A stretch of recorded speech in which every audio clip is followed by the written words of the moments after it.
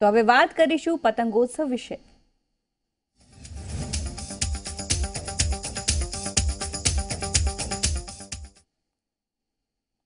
અમદાવાદમાં આજથી ત્રીસમાં આંતરરાષ્ટ્રીય પતંગોત્સવનો પ્રારંભ થવા જઈ રહ્યો છે. મુખ્યમંત્રી વિજય રૂપાણી અને રાજ્યપાલ ઓપી કોહલીના હસ્તે સવારે પતંગ મહોત્સવનું ઉદ્ઘાટન થશે.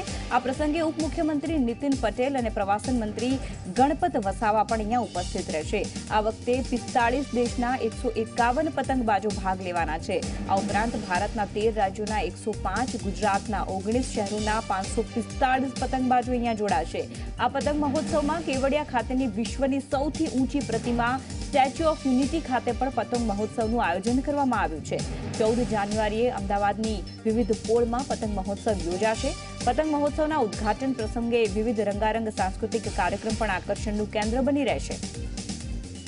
તો પતંગ મહોત્સવ કે જેમાં દર વર્ષે દેશ વિદેશના લોકો ભાગ લેતા હોય છે દેશ- દેશ વિદેશના જે પતંગબાજ છે તે પોતાની કળા, પોતાનું કર્તવ્ય બતાવતા હોય છે. અલગ અલગ જે આકાર છે તેના અલગ અલગ આકારના પતંગો આકાશમાં ઉડતા જોવા મળે છે. એક નયનરમ્ય નજારો પતંગ મહોત્સવમાં જોવા મળે છે. ખાસ કરીને શરૂઆતમાં જે કોર્પોરેશનના જે બાળકો હોય છે, તેના દ્વારા અલગ અલગ પ્રકારના આસનો દર્શાવવામાં આવે છે. સૂર્ય નમસ્કાર પણ દર્શાવવામાં આવે છે અને એક અલગ જ માહોલ ત્યાં જોવા મળે છે. ખાસ કરીને સુરક્ષા માટે પણ અહીંયા ચુસ્ત બંદોબસ્ત ગોઠવવામાં આવે છે.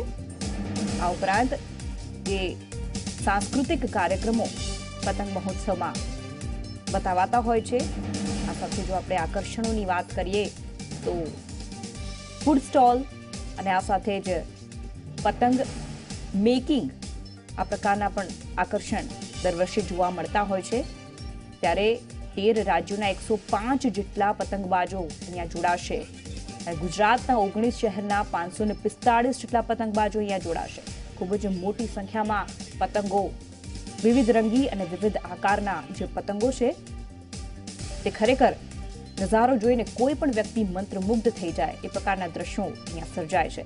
આ સાથે જ પ્રવાસીઓને આકર્ષવા માટે ખાસ પ્રકારના આયોજનો અને મોન્યુમેન્ટ્સ પણ અહીંયા રાખવામાં આવ્યા છે.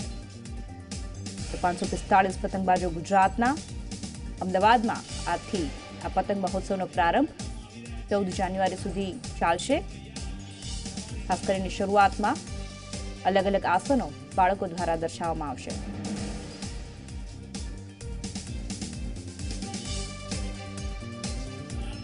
આ વિષય પર વાતચીત કરવા માટે કિંજલ મિશ્રા અમારા સંવાદદાતા સીધા જોડાઈ રહ્યા છે. જી કિંજલ, દર વર્ષે પતંગ મહોત્સવ યોજવામાં આવે છે. ખાસ કરીને ઘણા બધા આકર્ષણો હોય છે. બાળકો દ્વારા પણ ઘણા બધા પ્રોગ્રામ્સ કરવામાં આવે છે. અત્યારે આપ ઉપસ્થિત છો. શું ચાલી રહ્યું છે?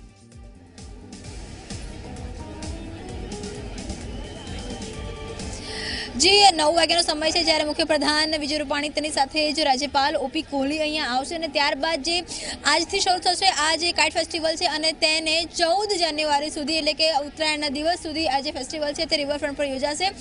ગુજરાતમાં નરેન્દ્ર મોદી જ્યારે મુખ્યમંત્રી હતા ત્યારે એક એનો ઉદ્દેશ હતો કે ન માત્ર રાજ્ય પરંતુ આંતરરાષ્ટ્રીય સ્તરે પણ ગુજરાતની આ ઉત્તરાયણની જે પદ્ધતિ છે તેને ઉજાગર કરવા માટે થઈ લોકો સુધી પહોંચાડવા માટે થઈ અને આ કાર્યક્રમનું આયોજન કરવામાં આવ્યું હતું. ત્યાર સતત આજે સાતમો જે મહોત્સવ છે આંતરરાષ્ટ્રીય કાસ્ટ કાઇટ ફેસ્ટિવલ તે જોઈ રહ્યો છે આપ જોઈ રહ્યા છો તે પ્રમાણે અહીંયા આજે બાળકો છે સ્કૂલના બાળકો છે તે જે સૂર્ય નમસ્કાર કરશે જેની પ્રેક્ટિસ છે તે પ્રેક્ટિસ પણ કરાવવામાં આવતી હોય છે અને આ જે સૂર્ય નમસ્કાર છે સૂર્ય નમસ્કાર એક સાથે બે હજારથી પણ વધારે બાળકો છે તે સૂર્ય નમસ્કાર કરવાના છે. ત્યારબાદ સૂર્ય નમસ્કાર બાદ જે કાર્યક્રમ છે તે કાર્યક્રમ આગળ વધશે. આપ સ્ટેજની પણ એક ચહેલ પહેલ બતાવવાનો પ્રયત્ન કરીએ છીએ કે જ્યાં છેલ્લી ઘડીની તૈયારીઓ પણ ચાલી રહી છે. તેની સાથે જે જે સિક્યુરિટી અને સુરક્ષા લેવલની જે વાતો છે તેનું પણ પૂરતું ધ્યાન રાખવામાં આવી રહ્યું છે. નવ વાગ્યાનો સમય છે. નવ વાગે આ કાર્યક્રમની શરૂઆત થશે. કેમ કે જે વાત કરવામાં આવે તો ઉત્તરાયણને સીધો કનેક્શન ક્યાંક ને ક્યાંક સૂર્ય